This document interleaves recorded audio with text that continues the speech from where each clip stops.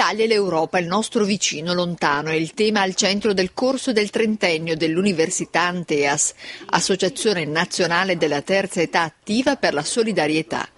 All'incontro d'apertura che si è svolto all'ex Borsa Merci sono intervenuti il vescovo Francesco Beschi, il professor Mauro Mazza dell'Università degli Studi di Bergamo, che ha tenuto una relazione sui diritti dell'uomo in Europa, il segretario provinciale della CISL Ferdinando Piccinini, l'assessore comunale ai servizi sociali Leonio Caglioni, il presidente di Anteas Giuseppe della Chiesa il responsabile dei corsi Mario Fiorendi.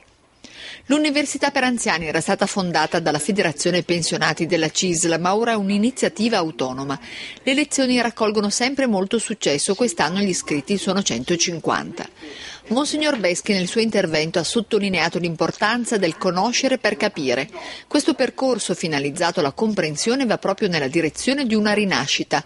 Non è semplicemente un tenersi vivi, ma attraverso la comprensione delle cose si ha l'opportunità di rinascere continuamente. Con questo spirito durante il corso si parlerà di ex Jugoslavia e Albania, di Norvegia e paesi scandinavi, di Ucraina, ma anche del risorgimento italiano a Bergamo e della condizione degli anziani nella nostra provincia. Le lezioni si terranno ogni giovedì fino al 10 maggio.